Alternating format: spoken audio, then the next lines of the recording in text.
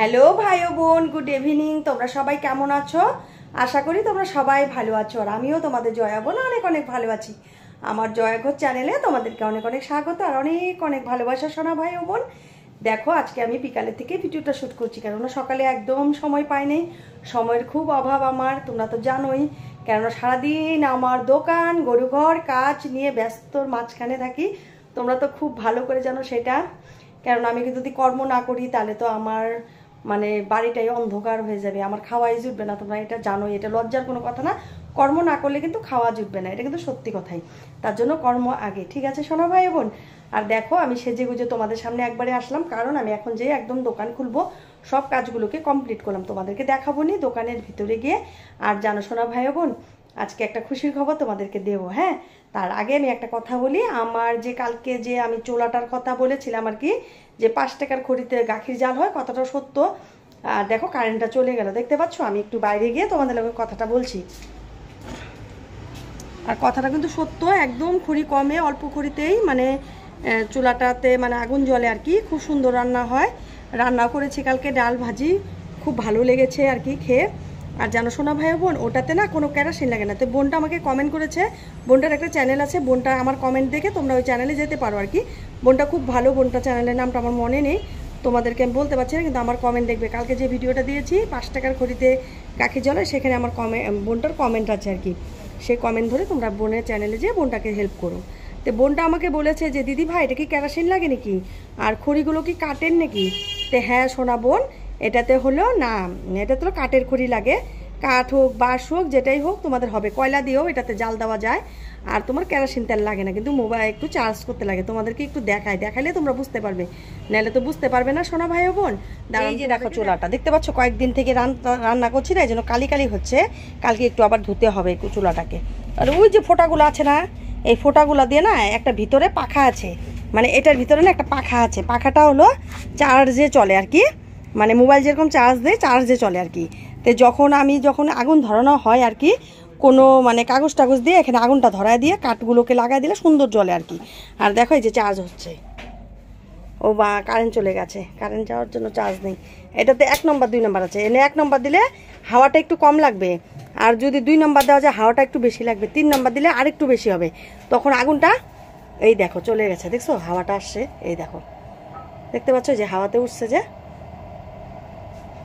মানে এখানে যখন এই যে এক নম্বর, দুই নম্বর দেওয়া হবে, তখন মানে পুরো হাওয়াটা লেগে যায় আর কি।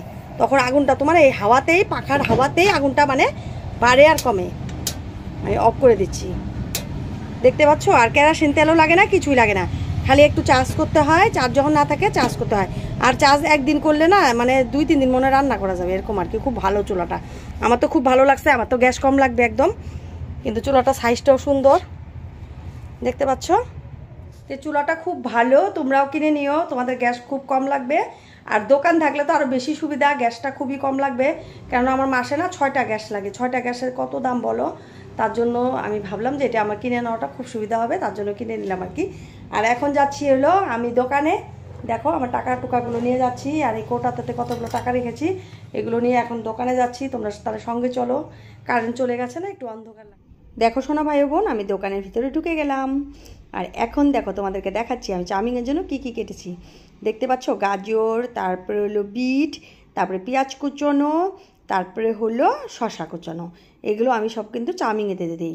আর হলো একটু একটু করে পকোড়াতে দিয়ে দিই, উপর দিয়ে আর কি ছড়ে। আর দেখো এখানে হলো পেঁয়াজ কাটা, আর হলো তোমার চার ফালটা করা পেঁয়াজ, আর হলো লঙ্কা, বটা ছেঁড়া। ওগুলো দিয়ে হলো সিঙ্গারাতে দেবো। আর এগুলো হলো পকোড়া, দেখতে পাচ্ছ? এগুলো সব আমি রেডি করেছি। এখন এগুলো তো ভাজার পালা, এগুলো ভাজতে হবে। তারপরে তো সবাইকে দিতে পারব, নাহলে তো দিতে পারব না। তো তোমরা সঙ্গে থেকো, আমি কাজগুলোকে করতে থাকি। আবার তোমাদের সামনে আসব। আর দেখো, এই যে ঘোড়াহালা দাদাগুলো যাচ্ছে। আর আমাকে বলছে কি, আমাকে ভিডিও তুলো ভিডিও তুলো। আর তোমাদেরকে না আজকে একটা দেখো, বিশাল বড় একটা মাছ এনেছে দাদা ভাইটা এই দেখো, আঠেরো কেজি ওজনের এই ব্রিকেট মাছটা দাদাভাই এনেছে। তা আমাকে চিল্লাচ্ছে, তুমি এসো, এসে ভিডিও তোলো মাছটা। তা আমারও তো ভালো লাগল, ভিডিও তুলতে পারব তাহলে।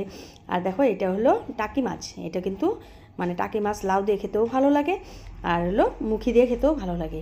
আর এই দেখো, এগুলো বা কী মাছ? বুঝতে পারি না, আমি অত মাছের নাম জানিও না। আর এই দাদা ভাইটা হলো মাছগুলোকে বিক্রি করে, তো চিল্লাচ্ছে। আর এই দাদা ভাইটা আমার থেকে কিন্তু অনেক কাপ চা খাবে, দশ কাপ। দেখো, হাসি দিচ্ছে, বলে কি আমাকে ক্যামেরা করছে, আমাকে ক্যামেরা করছে। আমি হ্যাঁ করবোই তো। আর দেখো কি মাছগুলো এনে সব ফ্রিজে মানে বরফ দিয়ে দিয়ে রেখেছে। দেখতে পাচ্ছ সোনা ভাই বোন? আর দেখো সোনা ভাই বোন, অনেকটা টাইম বাদে তোমাদের সামনে আসলাম। আর দেখো নেপালি সেজেছি। আজকে সবাই বলছে, তোমাকে না নেপালির মতন লাগছে। আমার খুব ভালো হয়েছে। একদম মাথাটা ভালো করে বেঁধে নিয়েছি। কারণ হলো চুলগুলো যাতে আমার মানে কোনো খাওয়ার মধ্যে না পড়ে আর কি আর এই ভাইটা বলছে কি, তোমা, আমাকে একটু দেখাও না দেখাও না। আমাকে তাই তোমাদেরকে দেখাইলাম। দেখতে পাচ্ছ সোনা ভাই এখন তাহলে আর ভিডিওটা বেশি বড় করছি না। তাহলে তোমরা ভালো থেকো, সুস্থ থেকো। আর আমার ভিডিওটা যদি তোমাদের ভালো লাগে, তাহলে একটা লাইক কমেন্ট শেয়ার করে দিও। ঠিক আছে সোনা ভাই বোন? তাহলে বাই বাই